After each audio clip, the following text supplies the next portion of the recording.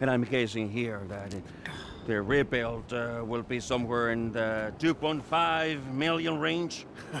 Of course. Great. That's nice. Come on, man. Damn, you alright? Never better. So what now? Looks like I'm gonna have to postpone my retirement. Fuck. Oh man, I'm mortgaged up to my eyeballs. Look, I only know one way to make money. I'm gonna have to give an old friend a call. Lester. I think he's in town somewhere. I'm gonna have to track him down. Just give me a little alone time, alright?